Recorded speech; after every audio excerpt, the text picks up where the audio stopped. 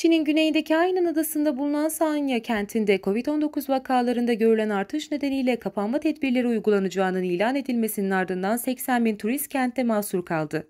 Çin'in en ünlü turistik noktalarından olan Hainan Adası'ndaki Sanya kentinde COVID-19 vakalarındaki artış nedeniyle dün itibariyle kapanma uygulanacağının açıklanmasının ardından 80 bin turist kente mahsur kaldı. Turistler en az bir hafta boyunca otelde kalarak her günlük leyik asit testi verecek. Yılın en yoğun sezonunu yaşayan Sanya'da oteller mahsur kalanlar için konaklama ücretinin %50 oranında düşürülmesi kararı alındı. Hainan Adası'ndaki diğer kentlerde de salgın tedbirleri artırıldı. Turistler otellere yerleştirildi. Dün sabah Sanya Phoenix Uluslararası Havalimanı'ndan yapılacak 164 uçuş iptal edilmesinin ardından binlerce turist havaalanında mahsur kaldı. Yolculardan yaklaşık 3000'i bu sabah itibariyle belirlenen 11 otele yerleştirildi. Tüm seferler durduruldu. Kentteki tüm uçak ve tren seferleri iptal edilirken toplu taşıma hizmetleri de tamamen durduruldu. Demir yoluyla kentten çıkışın önlenmesi için tren bileti satışları da iptal edildi. Kentte son 6 günde 800'ün üzerinde COVID-19 vakası tespit edildiğini belirten yetkililer, son dalgada omikronun alt mutasyonu BA5.13'e rastlandığını açıkladı.